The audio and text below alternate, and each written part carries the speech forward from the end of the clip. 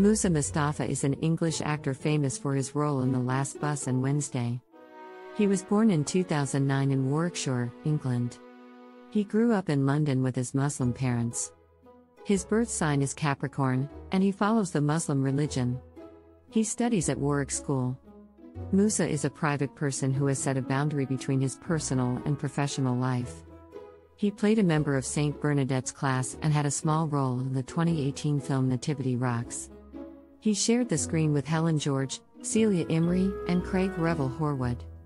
The artist's partnership represents him. He has appeared in several films and television series. He appeared with the socially awkward but intelligent character Nasir Roman in the Netflix sci fi adventure series The Last Bus.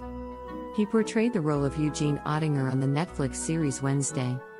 His co stars were Christina Ricci, Catherine Zeta Jones, and Luis Guzman. Moosa has yet to disclose his annual earning and net worth to the tabloids. He is likely single and focused on career goals. He stands 4 feet and 5 inches tall and weighs about 47 kilograms. Nonetheless, he loves creating funny TikTok videos and YouTube shorts.